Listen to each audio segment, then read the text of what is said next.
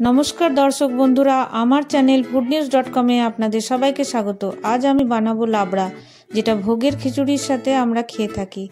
এছাড়া ভাত, রুটি, পরোটা সব কিছুর সাথে খাওয়া যায়। এখানে মূলো, কুমড়ো, বেগুন এগুলো দিতেই হয়। এছাড়াও কিছু সবজি লাগে। চলুন রান্নাটা দেখিয়ে নিই। প্রথমে একটা ভাজা মশলা তৈরি করব। তার জন্য একটা তেজপাতা, দুটো শুকনো লঙ্কা ওয়ান স্পুন গোটা ধনে হাফ স্পুন জিরে, আর হাফ স্পুন মৌরি আমি নিয়েছি। এবার ভালো করে ভাজতে হবে। ভাজা মশলার একটা সুগন্ধ বেরোলে আমরা মশলাটা ঠান্ডা করে গুঁড়ো করে নেব।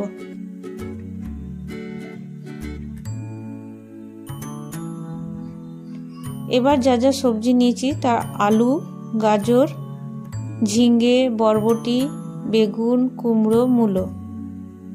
এছাড়া আপনারা পটল নিতে পারেন, আরও ইচ্ছে মতো সবজি নিতে পারেন। সব আমি লম্বা করে কেটে নিয়েছি। এছাড়া বাঁধাকপির পাতা কুচি নিয়েছি আর মূলো শাক কুচি। পালং শাকও নেওয়া যেতে পারে। এই রান্নায় একটু বেশি তেল লাগে। আমি এখানে দু টেবিল স্পুন সর্ষের তেল গরম করে নিয়েছি। এইবার প্রথমে বেগুন ভাজবো। আমি একটু নুন দিয়ে বেগুনগুলো দিলাম। বেগুন ভেজে তুলে রাখব। সবজির সাথে পরে মেশাবো। বেগুন তাড়াতাড়ি গলে যায় এই জন্য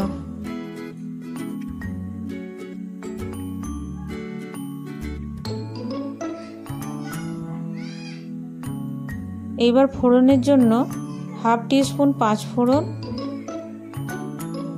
একটা কাঁচা লঙ্কা আর আদা কুচি। একটা বড় সাইজের আলু লম্বা করে কাটা আমি দিয়ে দিলাম। আলু প্রথমে একটু ভেজে নেব।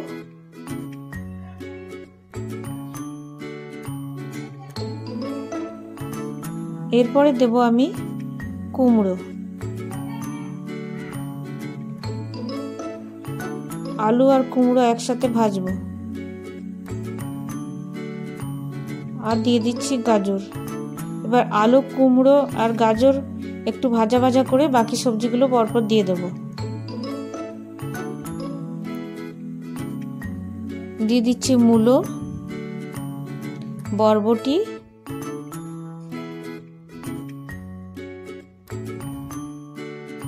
এবার নাড়াচাড়া করে একটু ভাজা ভাজা করতে হবে। এবার আমি ঝিঙেটা দিয়ে দিলাম। ঝিঙে প্রথমে দেব না, ঝিঙে থেকে জল বেরোয়, একটু শেষে দেব।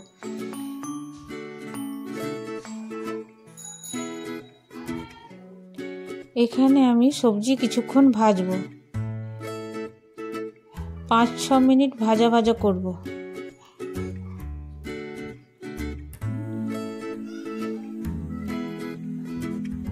এইবার আমি হাফ টি স্পুন হলুদ। আর ওয়ান স্পুন শুকনো লঙ্কার গুঁড়ো দিলাম। ওয়ান স্পুন জিরে গুঁড়ো আর হাফ স্পুন ধনে গুঁড়ো দিয়ে দিচ্ছি। আর পরিমাণ মতো নুন। এখানে আমি এখন হাফ স্পুন নুন দিলাম। পরে আবার দেব।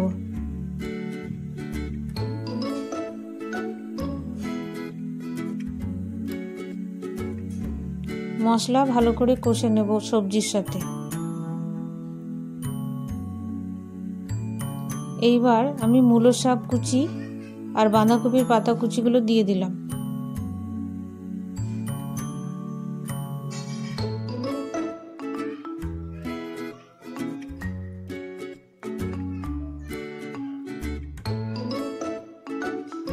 এক দু মিনিট আমি নাড়াচাড়া করে ঢাকা দিয়ে দেবো বেগুন দিয়ে।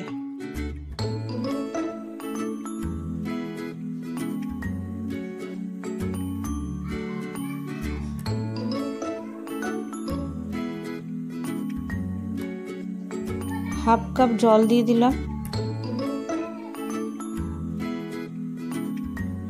এখানে সবজি থেকে জল বেরোবে, তাই জল আমি কম দিয়েছি। এইবার আমি পাঁচ মিনিটের জন্য ঢাকা দিলাম।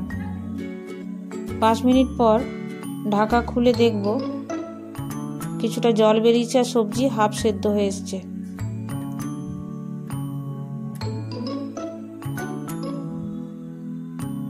এবার আমি দিয়ে দিচ্ছি হাফ টিস্পুন চিনি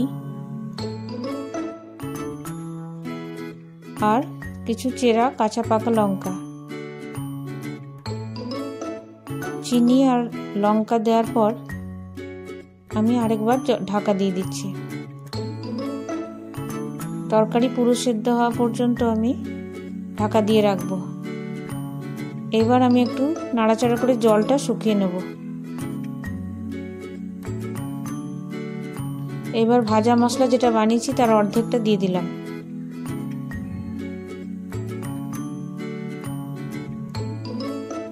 আপনারা তরকারির পরিমাণ বুঝে ভাজা মশলা দেবেন। তৈরি হয়ে গেল আমার লাবড়া। আপনাদের কেমন লাগল কমেন্ট বক্সে জানাবেন, আর ভালো লেগে থাকলে লাইক, শেয়ার এবং সাবস্ক্রাইব করে পাশে থাকা বেল বাটন ক্লিক করবেন, যাতে আমার রান্নার নতুন ভিডিও নোটিফিকেশান আপনাদের কাছে পৌঁছে যায়। ধন্যবাদ।